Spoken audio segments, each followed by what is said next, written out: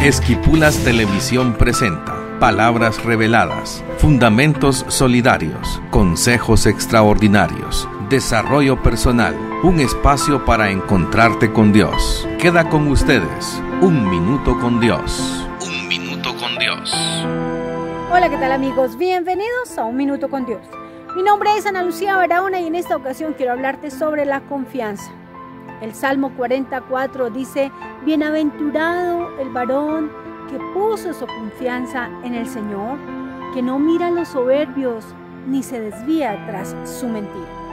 Quiero decirte que el Señor está ahí listo para que nosotros pongamos toda nuestra confianza en Él.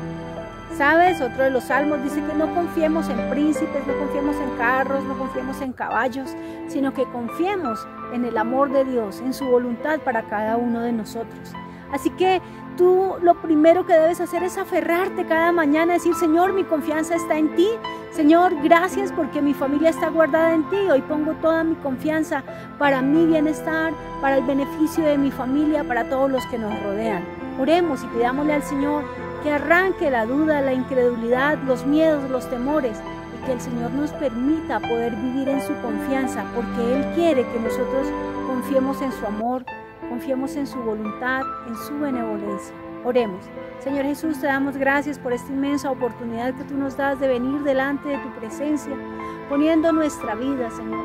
Te pedimos que arranques toda desconfianza. Queremos poner nuestra confianza en ti, sabiendo que tu cuidado y tu protección no solamente para nosotros, sino para nuestras familias, tú lo tienes en tu mano, Señor. Hoy te damos gracias y ponemos toda nuestra confianza en ti, en el nombre de Jesús.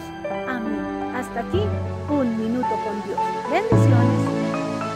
Un minuto con Dios. Esquipulas Televisión.